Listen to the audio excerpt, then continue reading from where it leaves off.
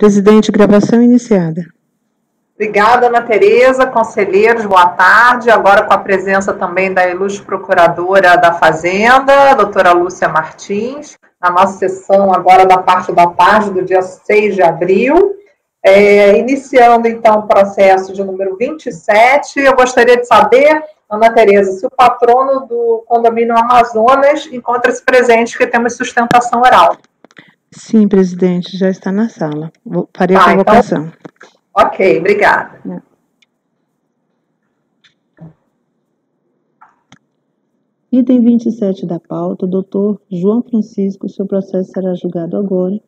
Por gentileza, verifique mensagem privada no chat. É, agora não entrou nada aqui. Só um minuto.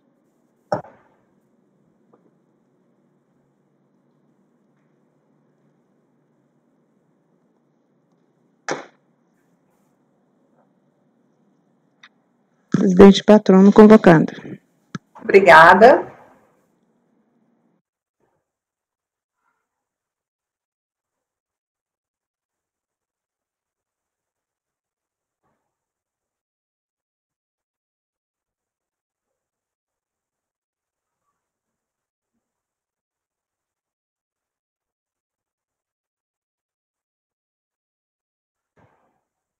Doutor João Francisco.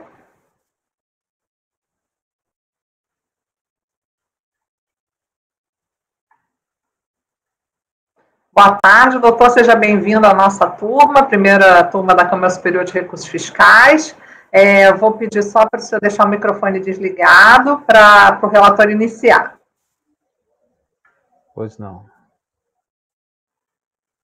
Obrigada. Eu peço também para todos desligarem os microfones e só o conselheiro Caio, então, iniciar o seu, a, a, leitura do processo de item 27 da pauta Condomínio Amazonas Recorrente interessado Fazenda Nacional. Pode começar, conselheiro, quando estiver pronto.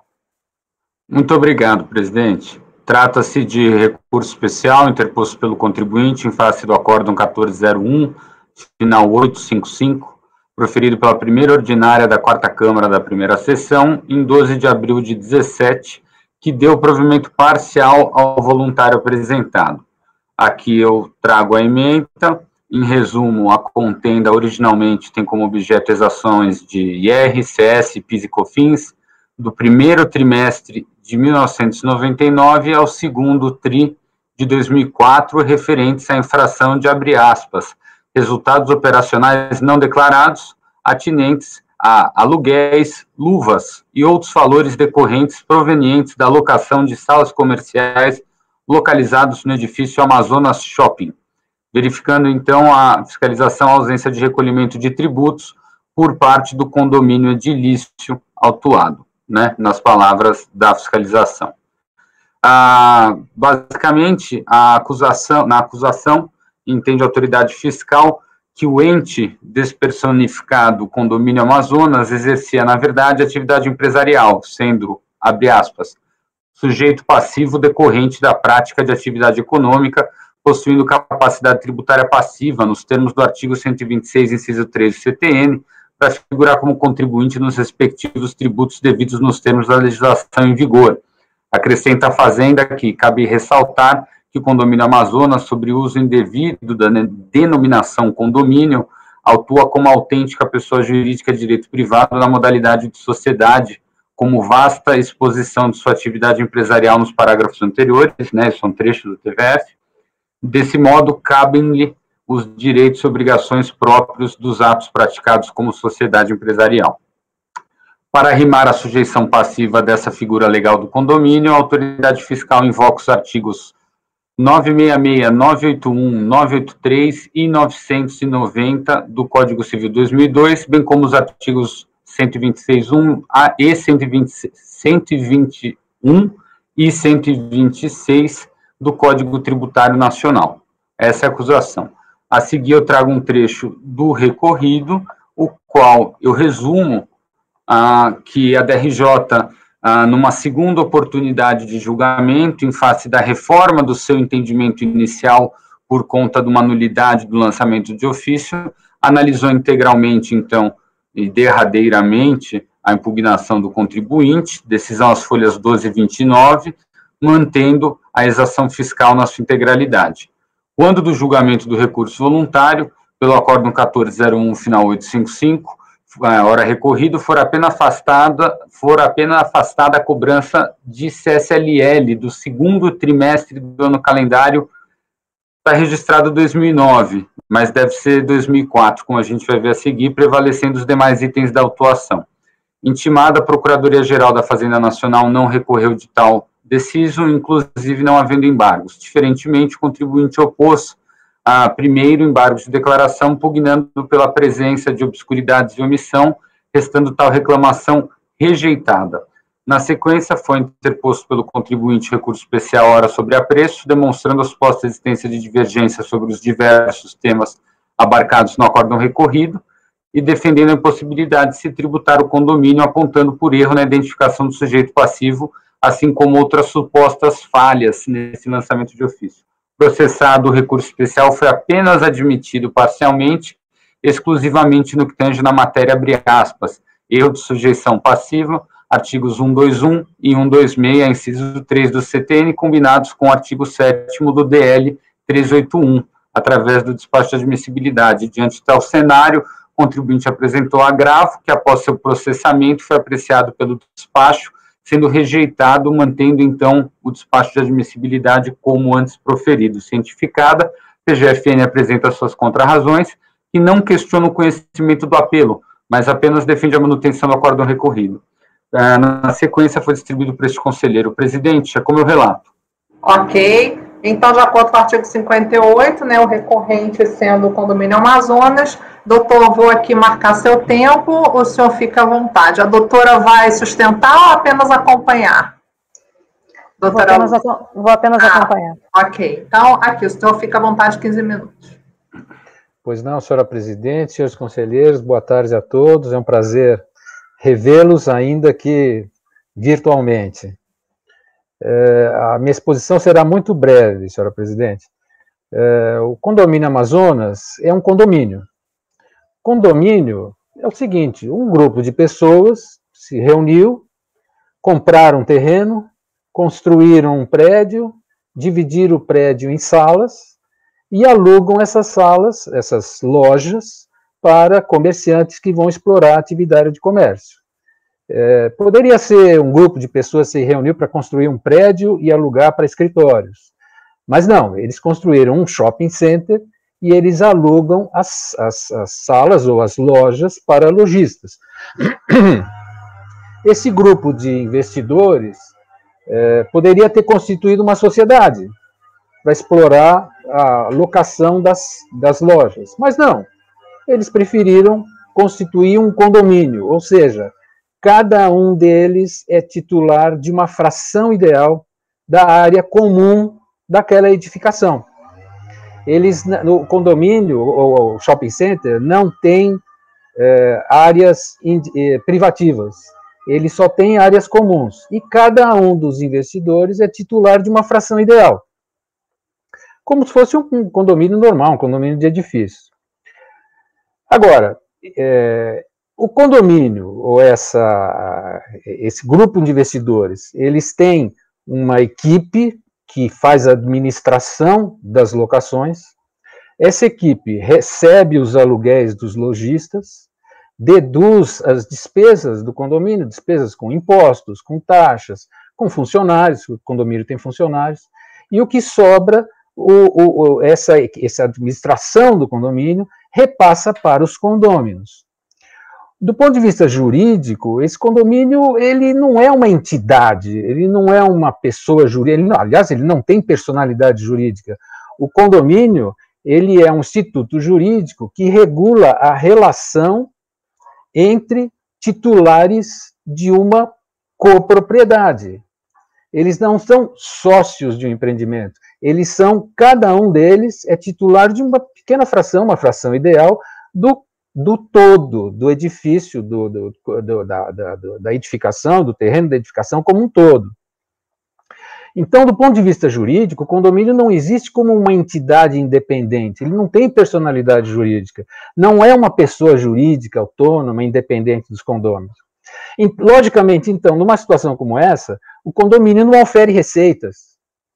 Ele, ele, ele transita pela conta do condomínio as receitas e as despesas. Mas essas receitas e despesas não são do condomínio, porque o condomínio não existe. Essas receitas e despesas são dos condôminos. A gestão do condomínio recebe, ofere as receitas, deduz as despesas e imediatamente transfere o que sobra para os condôminos.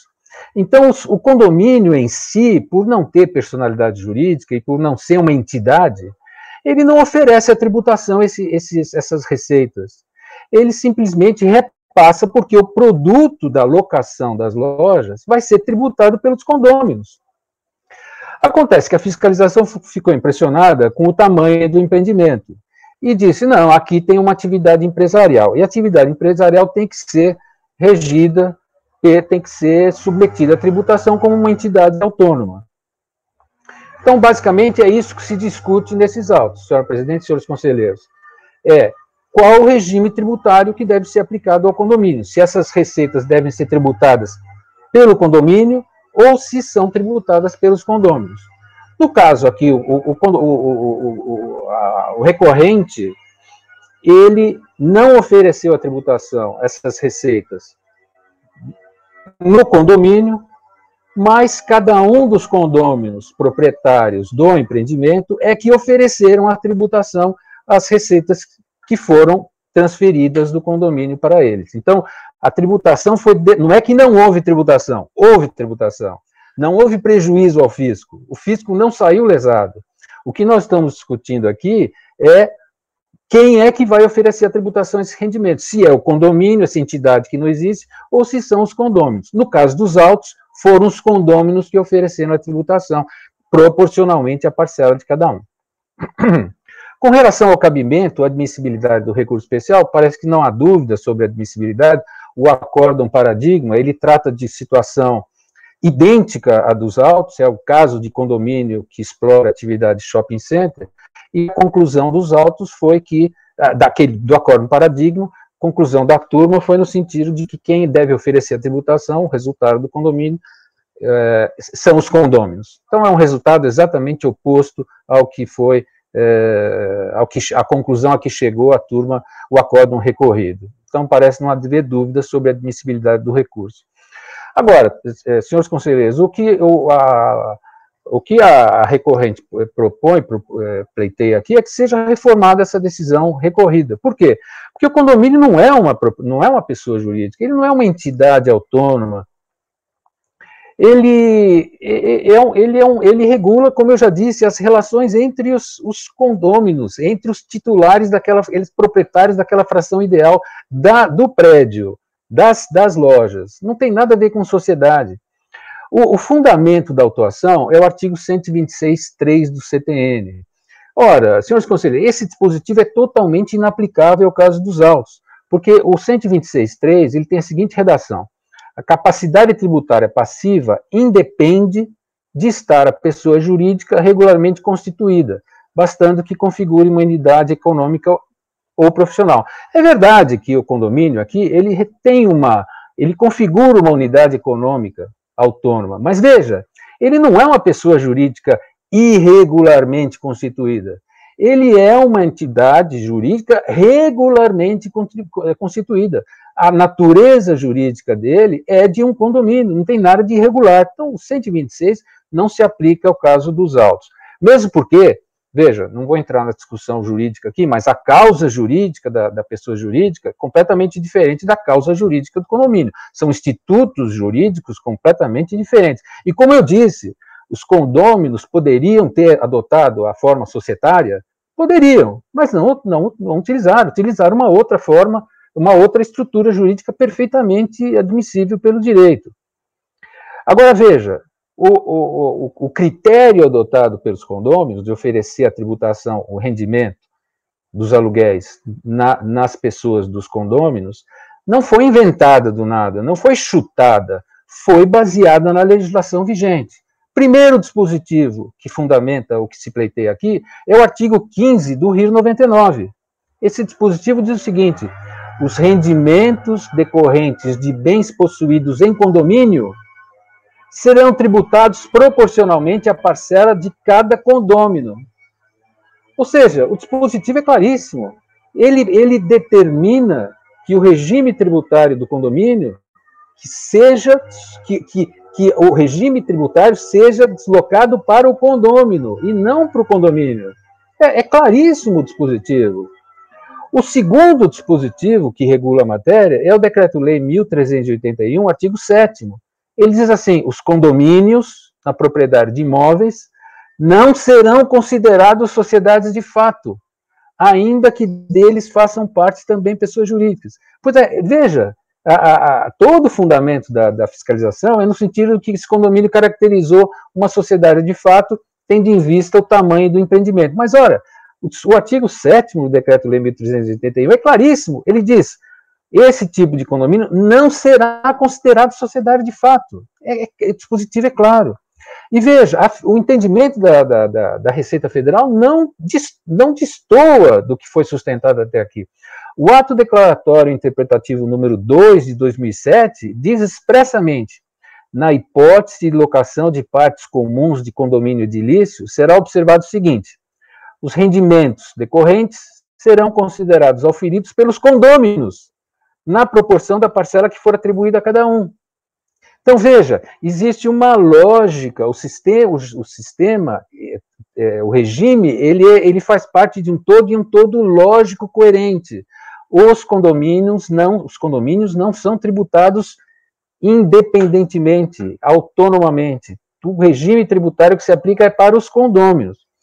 Bom, é bem verdade que o Decreto-Lei 1381 regula os condomínios que se dedicam à compra e venda de imóveis, e não à locação de imóveis. Bom, mas veja, é, não é possível haver uma discriminação em função do, da, da atividade. Nós estamos fundamentando o nosso pleito aqui com base no artigo 15 do regulamento do Rio 99 e, subsidiariamente, também pedindo pela lógica, pela aplicação da lógica das, do sistema como um todo. E o sistema tem uma lógica.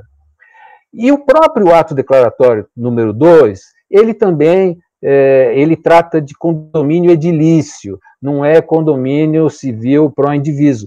Mas é o mesmo raciocínio. A gente tem que examinar esse, esse, toda essa legislação dentro de um ponto de, ponto de vista lógico sistemático. E a lógica sistemática, a interpretação lógica sistemática indica que esse é o melhor regime, esse é o critério da lei. O critério da lei é não se tributa o condomínio, tributa-se os condôminos. Por fim, senhores conselheiros, eu já estou caminhando para o final, eu vou fazer um. Parece-me que o pleito da recorrente aqui está fundamentado no melhor direito, estou bastante tranquilo com relação a isso, mas eu queria fazer, para terminar, senhora presidente, se a senhora me permitir, um apelo à razoabilidade e à racionalidade dos senhores conselheiros. Porque, veja, ou bem se tributa o condomínio como uma sociedade, e aí o que for transferido para os condôminos tem natureza jurídica de dividendos, e aí não se tributam os condôminos e se tributa o condomínio, ou bem, nós vamos não tributar o condomínio e vamos tributar os condôminos, cu, com, é, cuja receita terá natureza jurídica de aluguel. Eu, eu admito, até posso admitir, qualquer uma dessas duas alternativas. O que eu fere a minha lógica tributar-se os dois que é exatamente o que vai acontecer se o recurso especial for é, não for dado provimento ao recurso.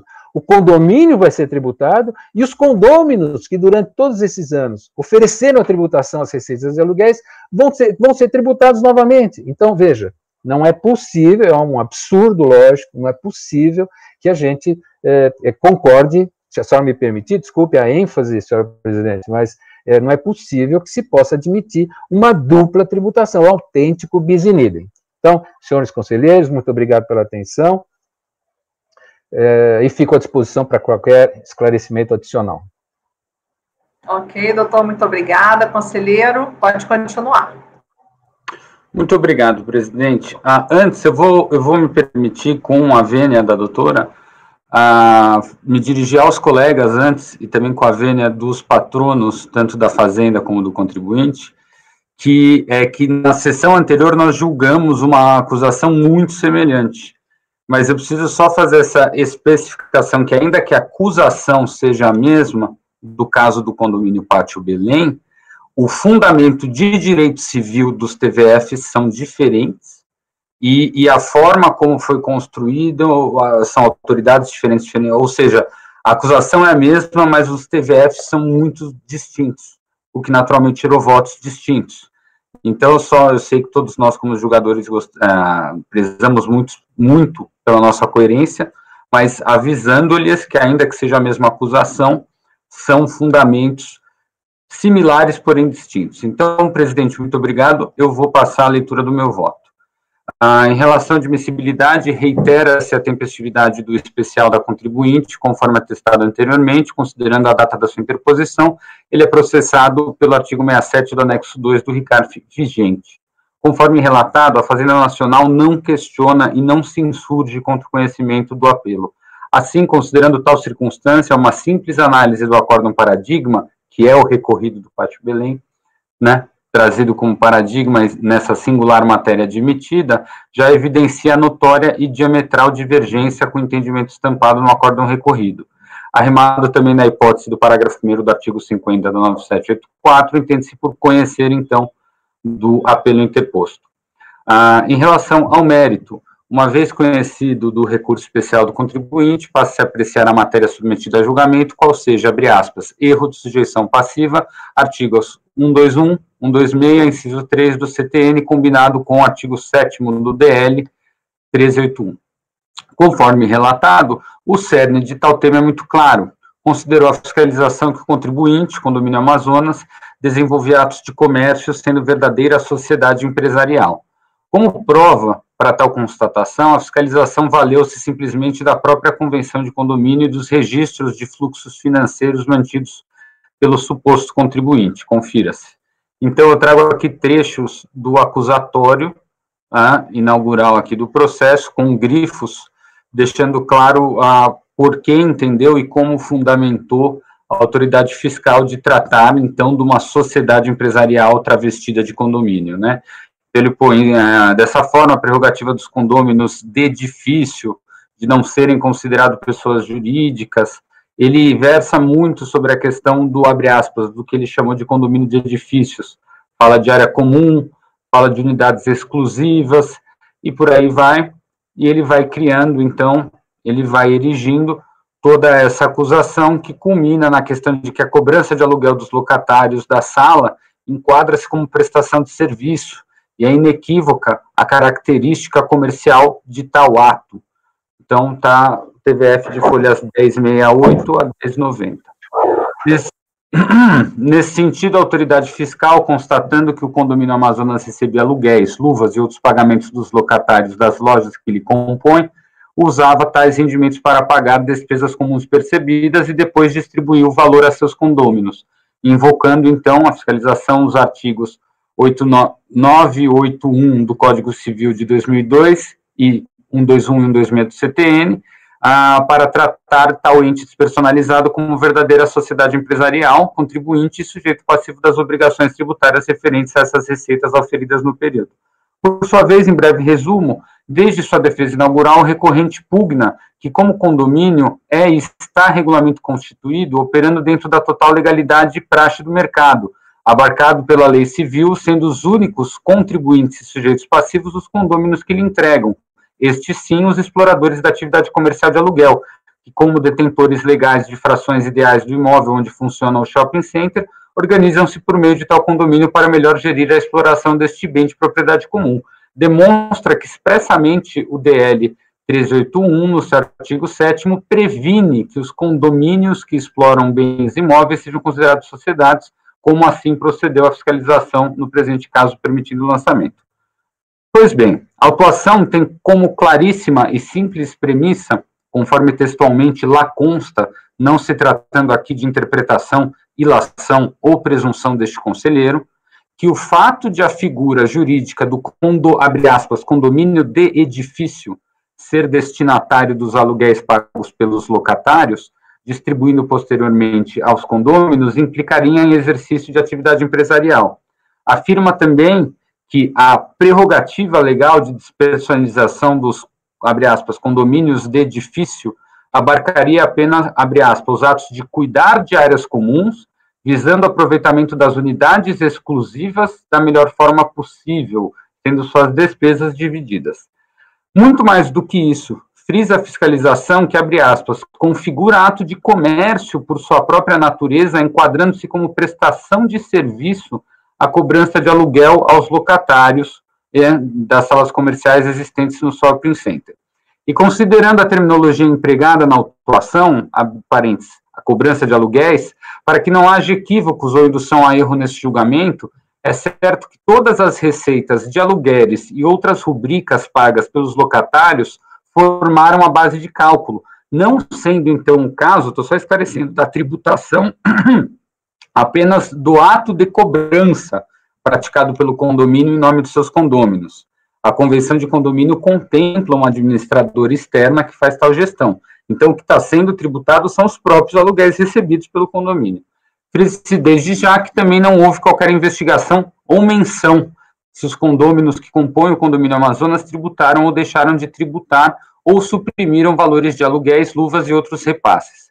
É objetiva a constatação fiscal de que a figura condominial em questão deve ser tratada como sociedade empresária, devendo ser diretamente tributada pelo fato de receber todos esses itens da exploração do imóvel.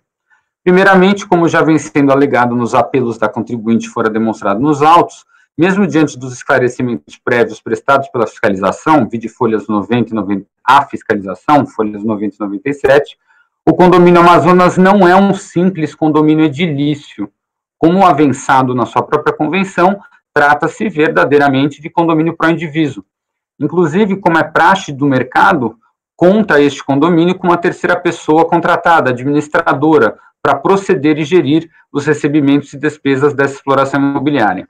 Em caso, os condôminos não possuem lojas e unidades específicas próprias ou exclusivas, mas dividem entre si a propriedade do terreno, das edificações e das instalações referentes a lojas e outras áreas, todas indicadas na cláusula primeira da Convenção de Condomínio, folhas 91 e 92. Em simples palavras, nos condomínios pró-indiviso, a copropriedade dá-se por partes ideais do bem, considerando como um todo, não havendo então porções ou unidades específicas delimitadas e individuais atribuíveis então a cada um dos condôminos e por consequência também não existem áreas ou partes comuns destacadas do todo. Toda a propriedade é comum no condomínio pró-indiviso. A modalidade é regida pelas regras dos artigos 1314 a 1326 do Código Civil de 2002. Já o condomínio edilício, de maneira totalmente diversa, é composto por unidades autônomas ou porções determinadas, individualizadas de propriedade exclusiva e outras de propriedade comum aos condôminos. Essa modalidade condominial é regida por regras específicas e diversas dos artigos 1331 a 1358-A. Dito isso, registre-se que conta expre, consta expressa e textualmente do TVF que seria o condomínio Amazônia um, abre aspas, condomínio de edificações e aborda a existência de, abre aspas, áreas comuns e aproveitamento de unidades exclusivas, fecha aspas, exatamente quando constrói a autoridade afirmativa de que condomínio é apenas uma denominação formal, vez que praticaria atos de comércio de receber aluguéis sendo uma prestação de serviço, desvirtuando a natureza do instituto condominial e configurando verdadeira sociedade, então devendo por isso ser sujeito passivo. Ora, data máxima vênia, conferindo todo o respeito e admiração à autoridade fiscal, se a fiscalização no TVF se utiliza precisamente da análise e ponderação de quais seriam as funções, limites e características legais normais e típicas dos condomínios de edificação para concluir e demonstrar seu desvirtuamento, então ele analisa, né, como funciona um condomínio de, de edificação e diz que ele está desvirtuado, então é uma sociedade, né, justificando assim a sujeição passiva imputada, a consideração equivocada da modalidade de condomínio que estava sendo apurada no caso concreto, normalmente quando possuem premissas legais de dinâmica, prerrogativas e organização de propriedade extremamente distintas e muito diferentes, regidas por normas especiais e regramentos específicos, inexoravelmente conduz à improcedência da conclusão alcançada e da manobra perpetrada para tributar o condomínio Amazonas como contribuinte, e não os coproprietários. Não se trata aqui de preciosismo ou de excesso de apego técnico aos termos da lei. Está-se diante de figuras de direito civil total e diametralmente diversas nas suas peculiaridades, com características, limitações, funções e dinâmica de exercício próprias, com um regramento legal específico e diversos entre si. Não podem ser estas figuras tratadas como iguais ou indiferentes para fins de constatação do seu próprio desvirtuamento, justificando a aplicação do consequente tratamento fiscal, submetendo-o ao polo passivo. Prestando mais uma vez a, o devido respeito à fiscalização, é clara também a improcedência jurídica da construção que justificou a sujeição passiva do condomínio Amazonas ora combatido. Desenvolvendo, em acréscimo a tal primeira constatação de procedência, uma vez que se trata de condomínio pró-indiviso, em que os condôminos são igualmente proprietários do bem como um todo, que geram os aluguéis, luvas e outros pagamentos, o recebimento dos aluguéis por meio dessa figura despersonalizada valem-se dela para necessária organização e divisão de despesas e receitas. É a forma mais ordinária, adequada, lógica e correta de se proceder. Mais do que isso, não há óbice legal para tanto, e é uma das razões para existir tal instituto de organização de propriedade comum. Não há conduta indevida da recorrente ou de seus condôminos que simplesmente valeram-se de figura histórica de direito civil para organizar o recebimento da exploração de direitos de propriedade de um bem imóvel por meio de locações e cobrança de outros ônus imobiliários, que, diga-se, diferentemente do alegado, não configura-se prestação de serviço, receber aluguel, conforme decidido pelo Supremo Tribunal Federal. E repita-se, a fiscalização rotulou o condomínio Amazonas de, abre aspas, sociedade empresária, nos termos do artigo 981 do Código Civil de 2002, simplesmente por proceder a tal recebimento e distribuição. Diferentemente daquilo defendido pela fiscalização, não se está diante da hipótese do artigo 981 do Código Civil de 2002, uma vez que não há situação em que os condôminos, abre aspas, como cita o Código Civil, reciprocamente se obrigam a contribuir com bens ou serviços para o exercício da atividade econômica e a partilha entre si dos resultados. Fecha aspas. Claramente, o único bem explorado já era de propriedade comum dos condôminos, não havendo então contribuição de bens, não se percebendo qualquer prestação de serviço por nenhum dos coproprietários nessa relação, que inclusive contrataram muito corretamente dentro da parte de mercado administradora para gerir a relação condominial com os locatários, não havendo então um contrato de sociedade ou atividade econômica autônoma desenvolvida pela figura do condomínio Amazonas que possa justificar essa sujeição passiva. Na lógica adotada pelo fisco, mesmo existindo uma legítima relação de copropriedade indivisível de um bem entre pessoas, o recebimento dos frutos de sua exploração pelo condomínio sempre implicará em revesti-lo de sociedade empresária e sujeito passivo das obrigações. A lei civil comercial não dá respaldo para tal ônus com base em tal lógica, muito pelo contrário, como será visto a seguir. Há muito, e exatamente visando garantir que as relações condominiais sobre imóveis, inclusive para fins de sua exploração, não fossem confundidas ou tratadas como as de contrato de sociedade, o legislador inseriu o artigo 7 no DL 1381 de 74, que expressamente esclarece que, abre aspas, condomínios na propriedade de imóveis não serão considerados sociedades de fato, ainda que deles façam parte também pessoas jurídicas. Muito importante repetir que não se verificou se os condôminos, que são os efetivos proprietários do imóvel explorado, estavam deixando de tributar as receitas líquidas repassadas, de modo que, efetivamente observando todo o cenário de exploração do shopping center, e também evitando eventual excesso ou dupla tributação, se constituir, então, uma sólida acusação de uma eventual utilização indevida ou abusiva ou fraudulenta do condomínio, não foi construída, mas apenas como eu disse, foi feita a tributação objetiva sem a verificação de, se já estava sendo tributado por outras pessoas esse resultado. Lembre-se que o lançamento de ofício não apurou como base de cálculo receitas atribuíveis especificamente a uma ou mais atividades desenvolvidas propriamente pelo condomínio. Foi tributada toda a receita imobiliária de aluguéis, luvas e outros encargos. Se entendeu o fisco que não houve a devida tributação dessa totalidade de rendimentos da exploração do bem, ou mesmo que o modelo de recebimento e divisão adotado não foi o correto, deveria então se tributar os condôminos, e não este ente de despersonalidade, despersonalizado, condomínio pró-indiviso, que inafastavelmente surge ex legis da simples relação de copropriedade sobre o imóvel. Ao seu turno, os artigos 121 e 126 do CTN não são fundamentos per si para atribuir personalidade jurídica e sujeição passiva a um condomínio pró-indiviso, regularmente emanado da relação de copropriedade sobre um singular imóvel.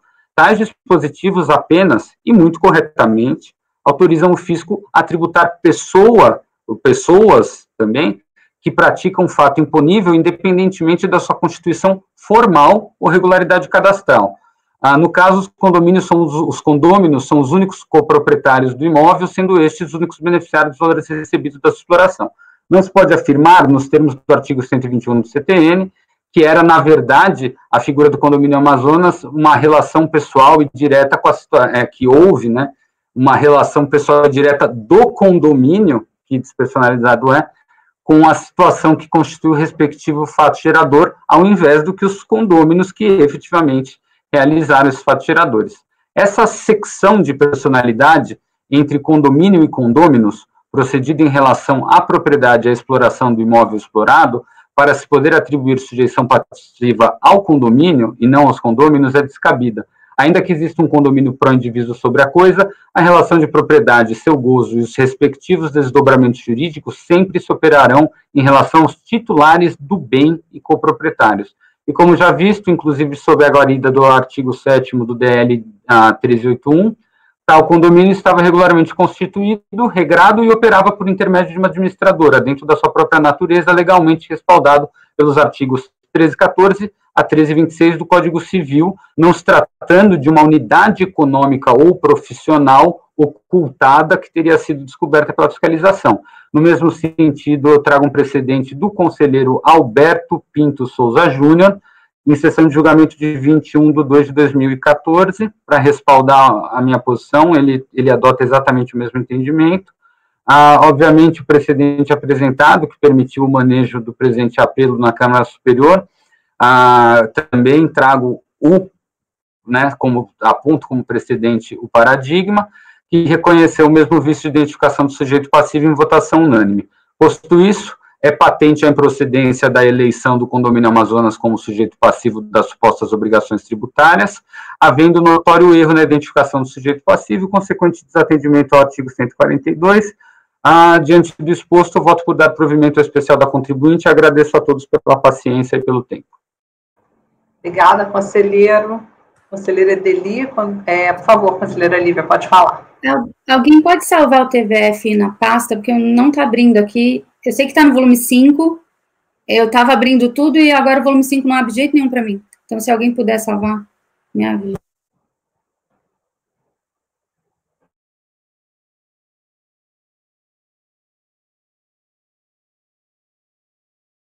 Pode falar, Matozinho. Eu estou com o olho aberto aqui, eu vou salvar na minha pasta livre, tá? Conselheira Deli, quando estiver pronto, já está com a palavra.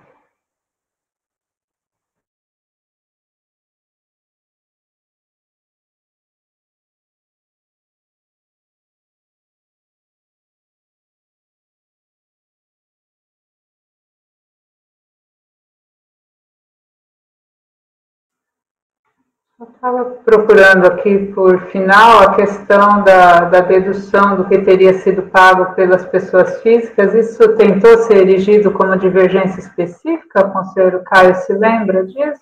Ficaria mais ah, para mim. Olha, minha resposta mais objetiva é que esta matéria individualmente não foi acatada. A única matéria que foi acatada ok, por meio do, do despacho de admissibilidade, é o erro na sujeição artigo 121, 126. Então, como matéria autônoma, arguido ou não, não subiu.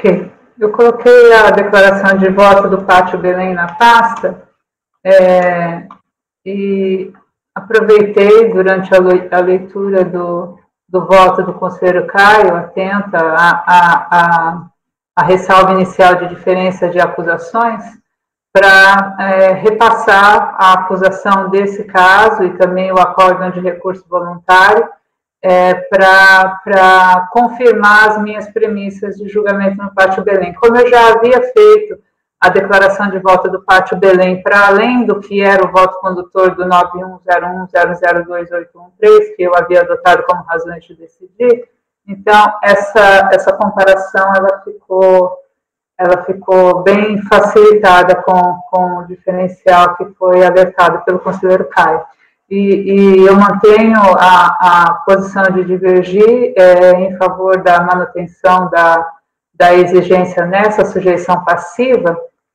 Só para orientar aqui, eu vou, vou passando aqui o, a declaração de voto para me lembrar de, de falar é, tudo que eu acho necessário. É, nós tínhamos lá no, no no Pátio Belém, né, uma discussão quanto às referências à Lei 4, 45, 459164, que não existe aqui nesse caso, né, é, eu vejo bem para além de uma, de uma acusação fundada só na convenção condominial, né, ela também tem em conta o contrato de locação, é, e a doutrina e a, a, a forma de, de, registro dos resultados, de distribuição dos resultados e a doutrina acerca da matéria, é, extensamente, por sinal.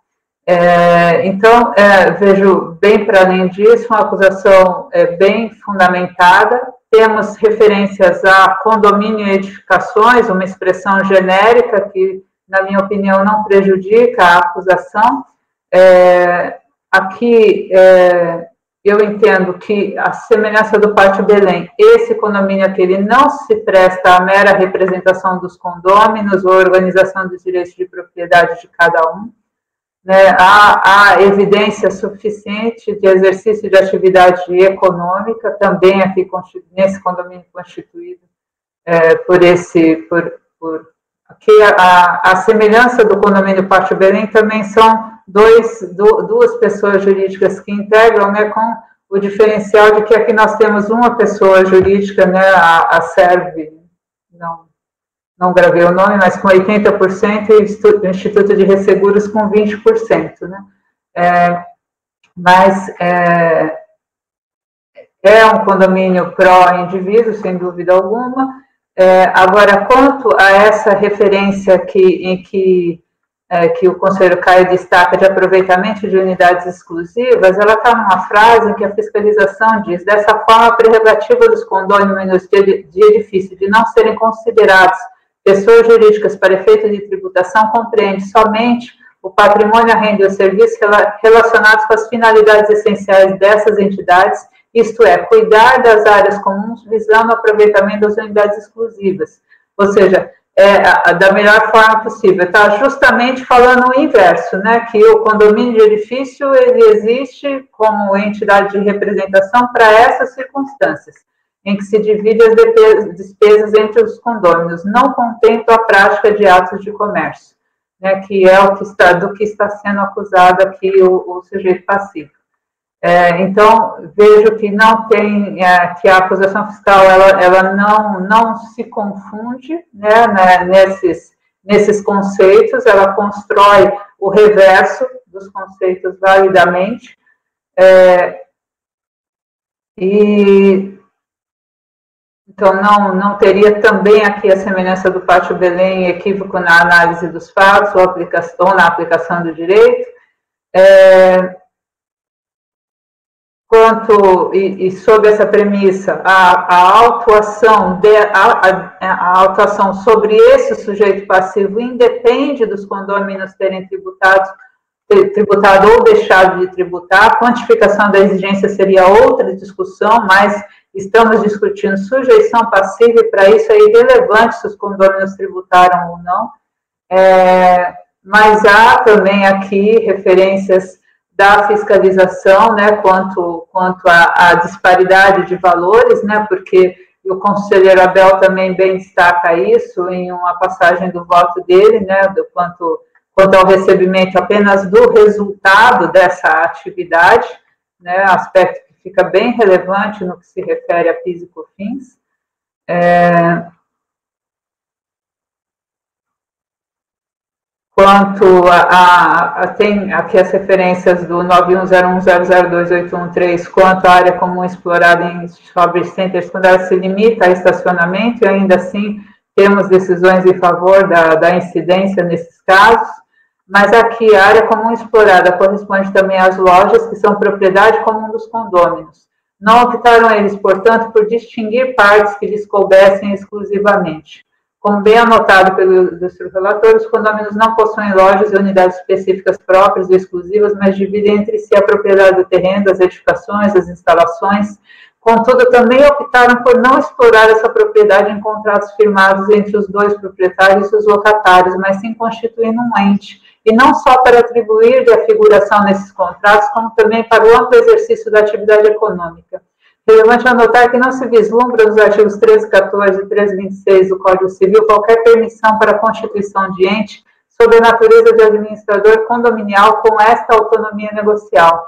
Extrai-se da legislação civil que são condôminos os proprietários de coisa indivisível, ao mesmo tempo em que têm direito de usufruir da propriedade, respeitando o exercício do mesmo direito pelos demais condôminos, ao mesmo tempo que estão nessa condição, têm o dever de contribuir para as despesas das decorrentes da propriedade, os frutos devem ser partilhados e os condôminos podem eleger um administrador cuja sumária descrição de atribuições nos artigos 13, 23 e 13 e 26 evidencia sua ação como mero mandatário nas contratações.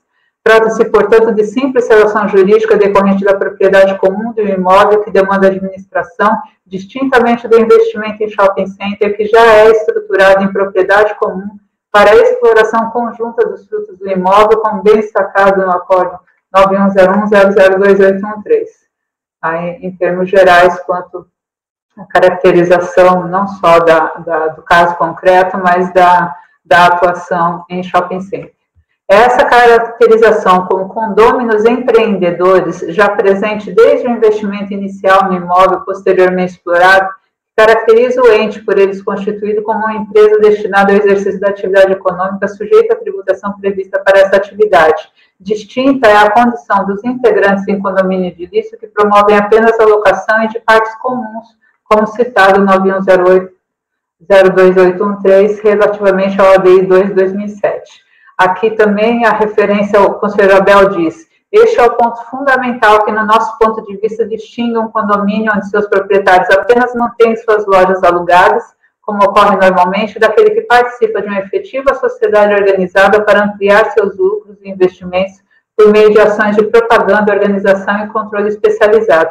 E isso é o que a fiscalização extrai dos contratos de locação, né, que não são meros contratos de locação, mas também tem a, a questão do, do ônus da, da, dessa, dessa entidade aqui autuada em manter o shopping em condições né, que, de interesse do, dos locatários também.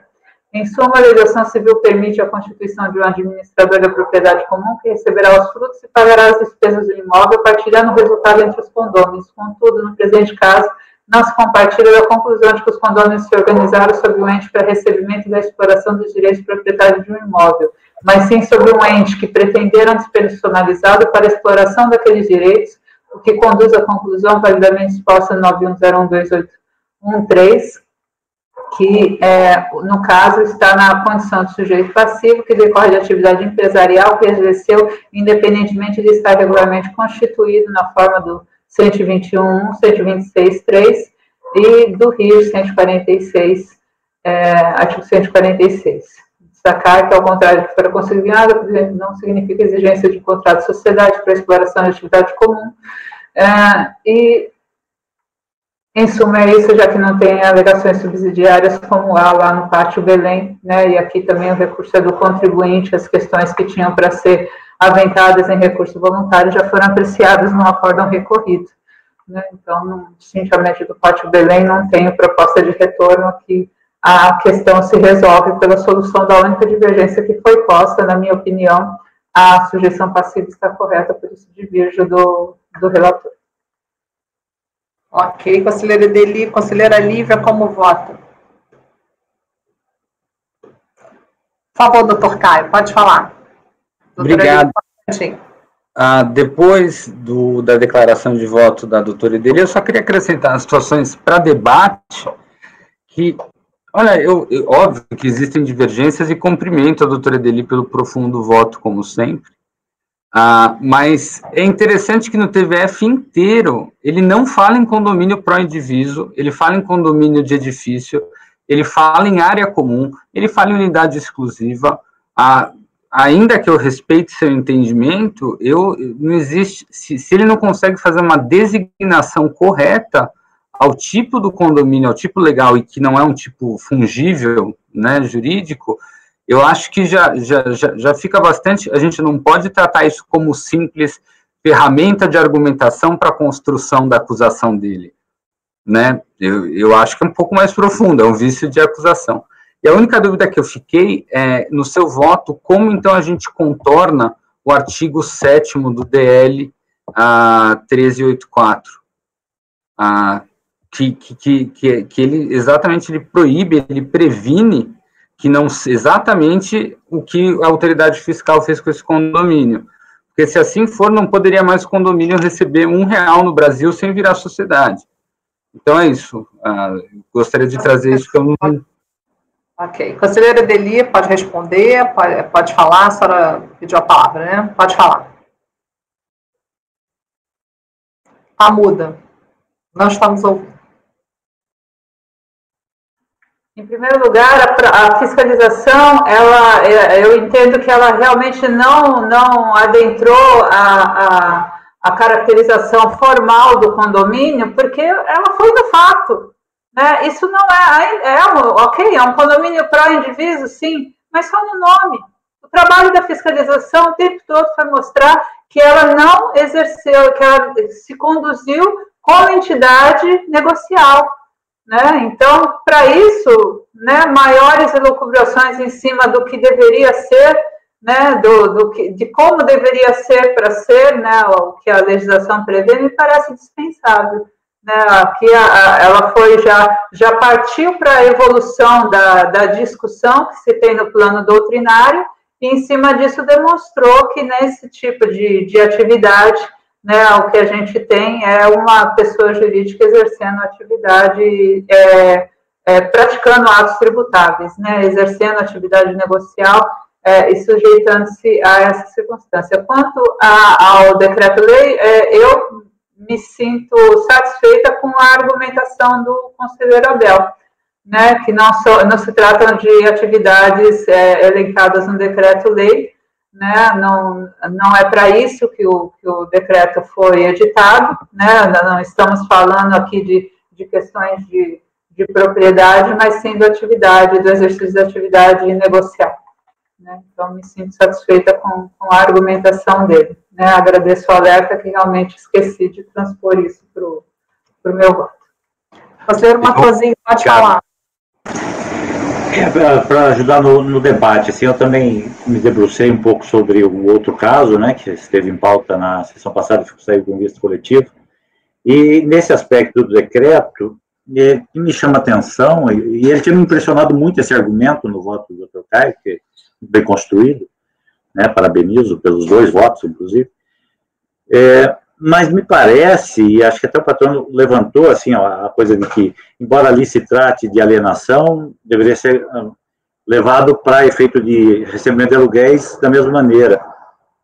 Mas não me parece o caso. Aqui, se olhar a construção toda do decreto, salvo uma compreensão da minha parte, que é possível, é, ele estabelece é, situações exatamente no sentido de incorporações imobiliárias, atividade imobiliária, principalmente voltadas à pessoa física. E, e, e registra textualmente nesse dispositivo que a participação de uma pessoa jurídica numa copropriedade dessa não implica na, na equiparação. E, e me parece que esse é o alcance desse dispositivo do decreto, e não no sentido da sua exploração eh, propriamente, é, inclusive para fins comerciais ou, ou de aluguel. Então, tanto que o parágrafo fala que, para efeito de equiparação com pessoa física, segue-se aí a, a, situação individual da, do, do, do, da pessoa física na sua cota de propriedade. Então, assim, me parece, só volto a assistir, né? Eu estudei, é a primeira vez que me deparo com esse tema, é, me parece não aplicável ao ponto de fundamentar. Pode ser até um bom argumento, mas me parece que não não serve suficientemente para justificar o afastamento, no caso da tributação, dessa forma pelo shopping. Apenas para contribuir com o debate, depois eu me pronuncio sobre o restante. Obrigado. Ok, conselheira Deli, então, votou por conhecer e negar provimento. Então, passo agora a palavra para a conselheira Lívia. Desesperador. Desde que a doutora Deli começou a falar, é, eu, a premissa do voto do Caio é que é, o TVF está baseado exclusivamente em, em na, na, uma das premissas, né? Na afirmação de que o fato do condomínio oferir receitas de aluguel faz dele uma sociedade empresária. E eu falei, nossa, se é isso mesmo, eu votei com a Abel na turma ordinária, mas o, o voto do Abel não estaria é, considerando isso, estaria nessa leva de condomínios, enfim, teria não considerado talvez essa acusação. Aí a Edeli começou a falar e parece que o TVF não diz só isso. Não consegui abrir o TVF até agora. É, tá com algum problema aqui para abrir é, PDF no meu, no meu computador, já reiniciei, já voltei, enfim.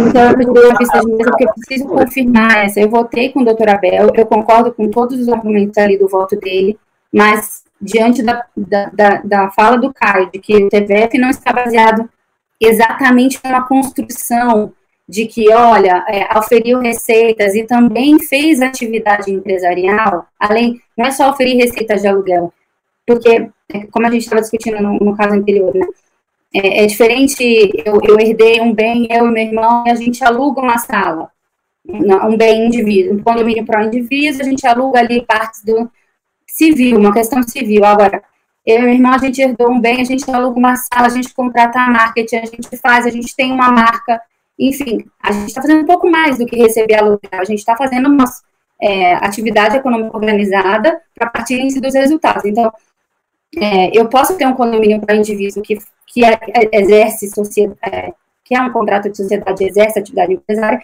e eu posso ter um condomínio para indivíduo que só recebe receitas. O fato de só receber receitas é, não, está, não, não não faz com que o condomínio faça uma, seja uma sociedade empresária. Então, eu, se o TVF estiver baseado só nisso, eu concordo com, com a premissa do Caio de que é, o TVF tem erro de fundamentação. Mas eu preciso olhar o TVF realmente para saber, porque me parece que, que pela leitura que ele fez não é isso, e se eu tiver uma leitura próxima da dela, eu, eu vou votar como tenho votado com a doutora Bel, enfim, então, e até em resposta também, o artigo 7 ele é, ele, ele é ele é ultrapassado exatamente porque aquilo não está dizendo que ah, o condomínio pode fazer o que quiser, que ele nunca vai ser sociedade empresária. Não. O condomínio, a priori, não vai ser sociedade empresária só porque é, ofere receitas e tem pessoas jurídicas na sua composição. A priori, não. Mas se ele exercer atividade empresária, ele vai ser comparado a pessoa jurídica equiparada para fins tributários. Então, acho que é essa construção também que me faz passar por cima do artigo 7 nesse caso e dizer que ele não é aplicável mas me preciso ver o TV, precisaria de uma vista de mesa ou, enfim, de mais debates para eu conseguir, porque agora parece que abriu aqui, então. Doutora Lívia, só lembrando que, como o patrono está presente, a vista de mesa é, é, é mais complicada, né? Tá, ou, ou algum esclarecimento de é. algum. Tá, é, a gente pode fazer o seguinte: se a senhora preferir a vista, aí o patrono mês que vem ele pode vir fazer acompanhamento, tá? Mas vou passar a palavra, então, para o doutor Caio depois o doutor Matosinho, enquanto isso a senhora, então, pode ir olhando. Por favor, doutor Caio. Olha, eu vou tentar ajudar a Lívia. Lívia, eu, eu colaciono no meu voto uma boa parte e que, na minha opinião, é onde ele chega à conclusão de por que aquilo é uma sociedade. E a preocupação do auditor, da autoridade que lavra, é, é recebimento de aluguéis e luvas. E ele até, como eu pus no meu voto, contrariando a jurisprudência do STF, ele chama de prestação de serviço, a receber aluguéis, luvas e outros ônus imobiliários. Então, ele trabalha nisso. Eu só gostaria de acrescentar que eu acho que é natural que o TVF tenha um trabalho né, de uma determinada autoridade tributária, aí vem uma decisão de primeira instância de outras autoridades, aí vem, eu acho que vamos por assim, se o doutor Abel, que eu admiro demais e tenho uma amizade, fosse o auditor fiscal que lavrou o TVF, eu acho que seria bem diferente. Porque uma coisa é esse TVF, outra coisa é a decisão do Abel, tá, doutora Lívia? E, então era isso que eu queria deixar bem claro. Muito obrigado. Ok, doutor Matozinho, pode falar?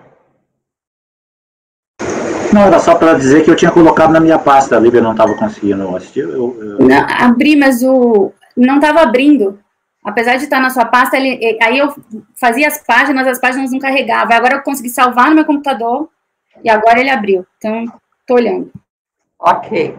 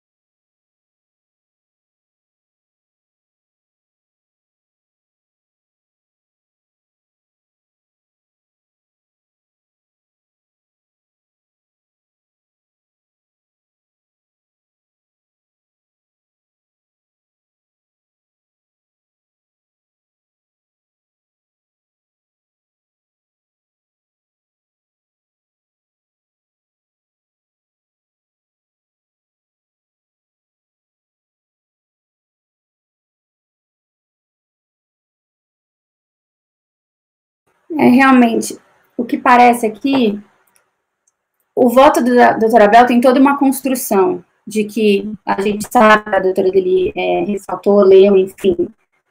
O TDF é muito mais singelo e ele não ele não traz nenhuma característica específica do condomínio da convenção de condomínio para caracterizar esse condomínio como sociedade, como exercendo atividade empresarial. Ele, ele traz aqui é, várias soluções de consulta, é, doutrina, dizendo que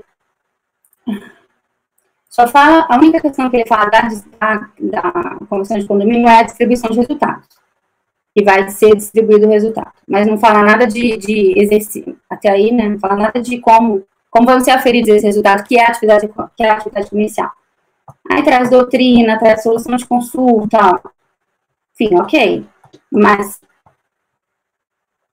quando ele vai finalizar isso, ele acusa só de receber receita de aluguel. Realmente, é o que está no, no, voto do Caio.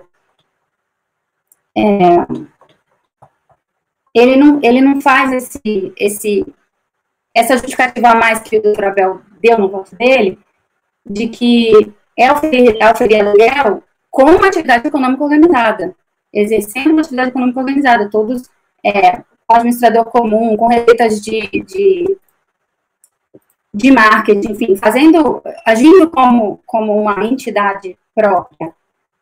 Então, eu tendo a concordar com o voto do doutor Caio, só que acompanho pelas conclusões porque eu, eu concordo exclusivamente com essa questão do, de fundamentação do, do, do auto de infração, né? E, inclusive, vou apresentar a declaração de voto exatamente para dizer por que eu mudei de, é, do meu voto lá na turma ordinária, né?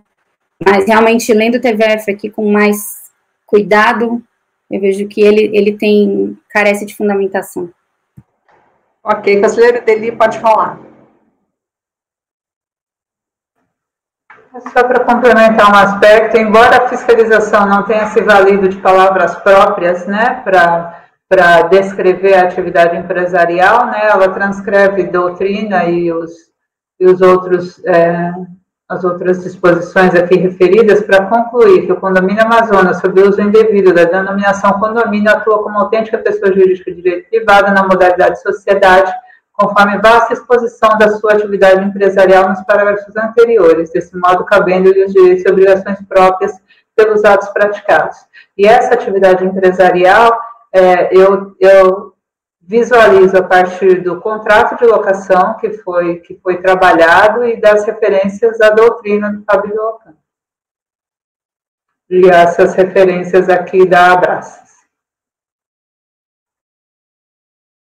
Ok, considera Lívia, então, conheceu, deu provimento pelas conclusões, é isso? Okay. Na, na, teoria, concordo com o voto do doutor Abel, só que na prática, eu acho que o TVF não fez toda essa acusação. Ele fala só na teoria também, ele não, ele não traz na prática por que, que esse caso aqui estaria sendo isso. E apesar de, eu posso deduzir que um condomínio de shopping center todo faz isso, mas é, eu preciso provar, né? A acusação tem que provar, então é, não posso só presumir.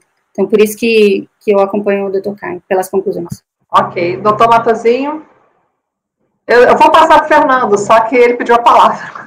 É, só, só para chamar a atenção da doutora Lívia aí, eu não sei, tem pelo menos um parágrafo, depois dele fazer toda a exposição, tem um parágrafo que ele diz principalmente, o condomínio Amazonas, sob o uso indevido de denominação de condomínio, atua como autêntica pessoa de direito privado na modalidade de sociedade, com base exposição da atividade empresarial nos parágrafos anteriores, desse modo cabendo-lhe os direitos e obrigações próprias pelos atos praticados. Ele faz um link entre ele não faz de graça aquela, toda aquela vasta exposição sobre o que é uma atividade de shopping, como se desenvolve, é, e que trouxe dentro do, do contexto. Né? Assim, me parece que isso aqui amarra dentro da linha que o colegiado decidiu, e também sabia que você ia participar. Me parece, é, embora dizer ali dele, não textualmente ali, no, no, né, dizer, ah, faz uma, uma, exploração comercial, mas todo o vínculo da descrição, a citação doutrinária, a citação de consultas, citação da, da, da, entidade que reúne os shoppings, me parece muito claro que ele está diferenciando. Isso aqui é uma atividade comercial e empresarial. Mas, enfim, só não sei se a senhora tinha visto. A... Doutora Lívia, depois doutora Edeli. Eu vi, só que o problema é que quando ele fala por quê, ele fala na teoria, é equiparado e tal. Por que, que ele acha que é se equipara a pessoa jurídica? Porque recebe receita de aluguel. E, e, e, só por isso, não. É, a, a doutora Abel é que fez, porque recebe de receita de aluguel, porque se comporta como uma entidade, porque todos eles fazem, é, cobram marketing, pagam luvas, fundo de comércio, enfim, tem toda. Então, assim, quando ele vai falar por que, que aquele, que essa teoria toda que ele disse encaixa no caso concreto, ele, ele, ele erra porque ele só faz uma parte. E essa parte que ele diz que é, eu acho que não é suficiente. Então, ele, ele teria que ter fundamentado um pouco mais de porque recebe receita de aluguel e porque só porque recebe receita de aluguel você não está encaixando ele lá em cima, na, em toda a teoria que ele diz que que tá. Então só parece que o fiscal estudou muito, só que ele não conseguiu aplicar o caso concreto aqui. Conselheira Edelia? O Matosinho tinha referido o mesmo parágrafo que eu mencionei, e mais para frente a fiscalização de novo fecha, né, depois de reproduzir os dispositivos do CTN. Diante da análise efetuada, pode-se afirmar que configura ato de comércio por sua própria natureza, enquadrando-se como prestação de serviço. A cobrança de aluguéis aos locatários salas comerciais existentes no Amazonas Shopping Center é inequívoca a característica comercial de tal ato, apesar de constituído como condomínio, é sujeito passivo decorrente da prática de atividade econômica possuindo capacidade tributária. Ok, conselheiro Fernando. Atua como autêntica pessoa jurídica de direito privado na modalidade sociedade, conforme vasta exposição de sua atividade empresarial nos parágrafos anteriores. Ok, conselheira. Perdão por interrompê-la, mas achei que você já tinha acabado. Conselheiro Fernando, pode votar. Presidente, então, em primeiro lugar, né, cumprimentar o brilhante voto do conselheiro Caio, né, já no mês passado já tinha nos brindado lá com um texto é, que, que, nos enriquece até para conhecer desse mercado, né, que é especialidade do, nosso conselheiro Caio. Também parabenizar o voto da conselheira Edeli, mas é, eu, eu, realmente vou acompanhar a divergência, Caio. Vou, vou acompanhar, eu entendo aqui que é, o auditor ele conseguiu, primeiro ele vem com toda uma construção, ele cita os códigos, os, os diversos dispositivos do Código Civil, ele traz conceito do que seria atos de comércio, depois ele afirma taxativamente que, que desenvolvia essa atividade. Né? Ele faz duas vezes, né, no trecho que o conselheiro Matozinho uh, leu, que o conselheiro dele também já tinha lido, que está ali na página 1000 e... É a folha 118 desse volume 5 aí, né? E depois, na sequência, ele fecha, que depois ele ainda vem cita várias decisões de consulta nesse mesmo sentido, e vem e fecha afirmando taxativamente que as atividades desenvolvidas eram atos de comércio. Né? Ah, por essa razão, devido à vênia ao voto do conselheiro Caio, eu vou votar com a divergência inaugurada pela conselheira Deli. Ok, conselheiro Tozelli, como voto? Bom, presidente, caso bem interessante, o doutor Caio já facilitou, porque trouxe uma minuta muito parecida na sessão passada. É, eu acho, eu acho que esse caso a gente não tem que se concentrar, aquela coisa bitolada, e ser influenciado por planejamentos tributários, buscar economia, porque não se trata disso. Aqui, na verdade, é um modelo jurídico, tem um o direito tipificou uma figura do condomínio, que é justamente que os investidores se valeram para explorar o empreendimento. Então, o nome shopping center, com a devida vênia fiscalização, me parece que é, é, é, tumultuou o fiscal. Ele está equiparando atos de comércio a isso se simplesmente ser um shopping center, a meu ver. O que, que eu quero dizer? Que eu vejo nos autos claramente que coproprietários se organizaram para explorar um shopping center em condomínio pró-indiviso. Então, o artigo 7 aqui mata a discussão. Mata a discussão, é uma norma específica que eu leio. Os condomínios na propriedade de imóveis não serão considerados sociedades de fato, ainda que eles façam parte também de pessoas jurídicas. Aí o que me salta aos olhos no, no, no, no recorrido é que, ah, esse artigo 7 tem que ser sistematizado. Sim, eu estou sistematizando ele. Existe uma norma geral, 126.3 do CTN, que não é aplicável. Lá são aqueles casos de sociedades irregulares que nunca cadastraram. É, normalmente são pequenos negócios, pessoas que se juntam e começam a praticar atos de comércio, e são pessoas jurídicas por causa do, do 123 e por equiparação da legislação tributária. E aqui, a partir do momento que o direito cria, cria um, um mecanismo, um modelo, ele induz um comportamento. Os coproprietários foram, e o que, que é o shopping center? O que, que é o shopping center? É justamente a utilização da propriedade. Então você vai falar, ah, não, teve, contratou uma administração e ela faz o serviço, sei lá, de intermediação, de arrecadar o, o aluguel e repassar, então aí é ato de comércio. Que comércio é esse? Toda a receita disso é a propriedade. Sem a propriedade, não tem nada. Então, aqui é um caso típico de condomínio. O condomínio nasceu para isso. E aí, se você for ver, aqui me parece, na minha breve pesquisa, que, que, que as sociedades executivas são duas pessoas jurídicas. Então, todo lucro, toda renda já foi tributada.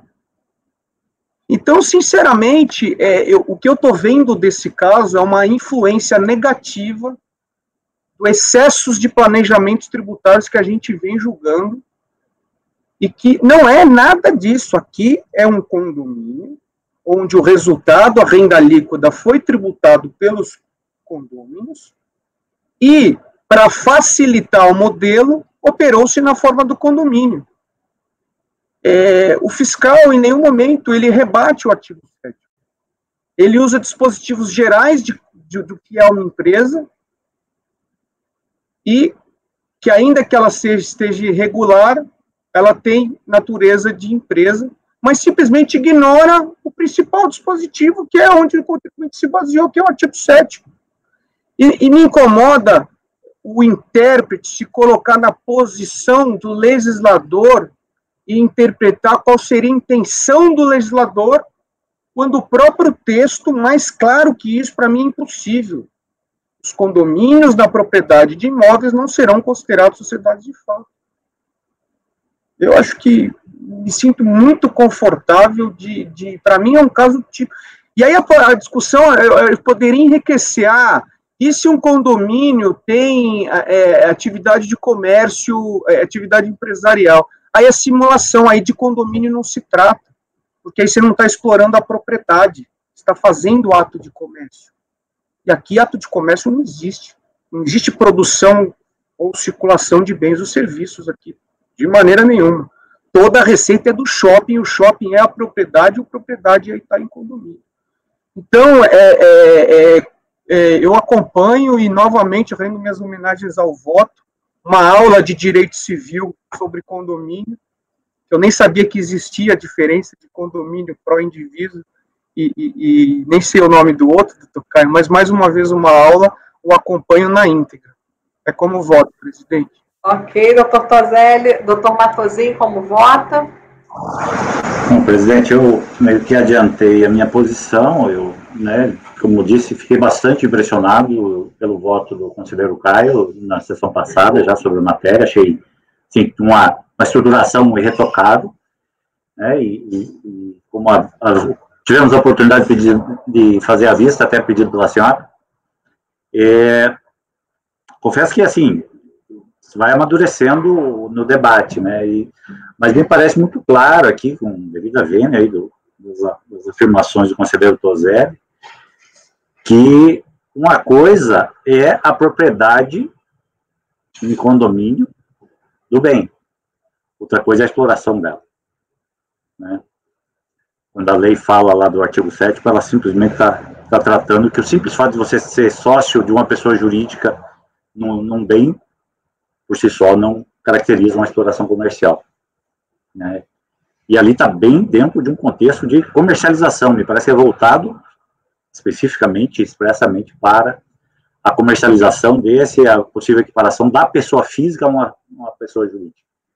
No caso aqui, com devida vênia também, é, né, a respeito à, à interpretação de que o, o, o, auditor não chegou a, a, externar com toda a propriedade, que aquilo se tratava de uma atividade comercial típica, mas o conjunto da descrição, desde o primeiro momento, quando ele traz e grifa as partes da convenção de condomínio, e que diz quais são as atividades que serão exercidas para esse condomínio, destacando a, a desde a da, da, forma de exploração até a, a, a, divisão de despesa, e ao longo do TVF trata claramente da, da, da situação é, do que é um shopping center, né, amarrando na sequência, se por ah, ah às vezes o, o, o, cuidado com as palavras, a, cada um de nós, ao redigir um voto, podemos chegar à mesma conclusão escrevendo de maneira distinta, né, um realçando uma coisa aqui, outra ali, mas ao final tem a mesma conclusão. E me parece que a compreensão global desse caso aqui é, é essa. Né? Essa atividade é uma atividade econômica autônoma que exige uma, uma, uma tributação específica ou não. E o contribuinte compreendeu bem isso e defendeu isso com seus argumentos que foram explorados e discutidos aqui. Então, não me parece assim a ver com a devida vênia, não vejo motivo para afastar, porque uma, uma má conclusão ou uma má finalização por parte do auditor na, na, na descrição dos fatos ou na qualificação dos fatos. Eu acho que os fatos estão tão bem qualificados que estão aqui e foram aceitos, inclusive, com é, né, no conhecimento, com a mesma perspectiva do outro. Né? Não tem uma distinção em relação ao outro caso que nós vamos julgar depois na sequência. Então, com a devida vênia, parabenizo brilhantemente, parabenizo a Ideli, que, como sempre, dá aulas de, né, sobre essa capacidade que ela tem de tão rapidamente pegar e, e detectar nas, nas peças processuais o ponto nevrálgico ali, ou, ou sensível para a discussão. E peço vênia, então, ao Caio, parabenizo, e, mas vou votar com a divergência. Ok, conselheiro Alexandre, como vota? Obrigado, presidente. É, também gostaria de parabenizar o conselheiro Caio pelo voto. Acho que o voto, além de ter ficado bastante claro e cristalino, ele foi bastante profundo ali a trazer referências legislativas, doutrinárias. Então, parabenizo desde já o, o conselheiro Caio.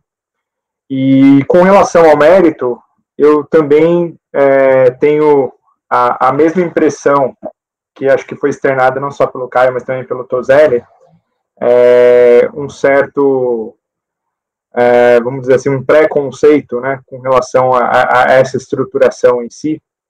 E, de fato, é, a gente sabe que aqui em São Paulo, por exemplo, tem várias, vários condomínios que, além de ter o condomínio de prédio, ele tem espacinho ali para uma lojinha ou outra, é, para um estacionamento aberto para terceiros, é, e aí eles acabam alugando isso daí, não explorando, né? Obviamente, quem faz o ato de comércio em si é quem alugou aquele imóvel e não o próprio condomínio em si. E nesse caso, tal qual o, acho que foi o conselheiro Tozelli pontuou, para mim, o que está bem claro aqui é que é o aluguel do imóvel, do, daquelas lojinhas, ainda que seja numa proporção maior, de fato. Então, é, eu acompanho o voto do Dr. Caio, e por curiosidade também, né, eu fui até ver o TVF aqui, porque me estranhou né, a utilização dessa expressão atos de comércio, que é uma expressão que já é antiga, do antigo Código Comercial, mas aí eu fui ver, é que ele pega um período que abrange bem a mudança do, do Código Civil ali, então ele vai de 99, então daí a origem, né, mas eu voto integralmente com o conselheiro Caio. Ok, obrigada, conselheiro Alexandre. Eu voto com a divergência, então ficamos o seguinte: conhecido por unanimidade e pelo 19E foi dado provimento ao recurso vencidos Edeli, Fernando, Matozinho e Andréia, que negavam o provimento. Doutor, muito obrigada pela sua participação. Alguém quer fazer a declaração de voto? Eu declaro. Vive a declaração de voto. Edeli quer incluir? Ok. Senhor presidente, eu queria agradecer, queria agradecer a todos, queria parabenizar o doutor o conselheiro Caio pelo seu voto, parabenizar também a, a doutora Edeli. Edeli, eu estava pensando aqui, eu acho que eu nunca ganhei nenhum caso com você. Impressionante. acho que é a primeira vez. Doutorado em mineração fazenda brasileira, Bianco? Oi? Você Oi? não estava em mineração fazenda brasileira? Não, não estava. É Aquele, não? Aquele caso da DM eu ganhei, mas você não votou. não, não estava. Doutor, foi uma honra recebê-lo. Até a próxima. Muito obrigado, Tudo de muito bom, obrigado. muita saúde aí. Obrigada. Deli, prazer em te ver, viu? Um abraço. Prazer, Bianco. Tchau, tchau. abraço. Doutor Caio. Tá mudo? Eu gostaria de, por favor, sugerir um intervalo. Ah, pois não. É, Ana Tereza, pode encerrar a gravação temporariamente. Ok, presidente, gravação interrompida.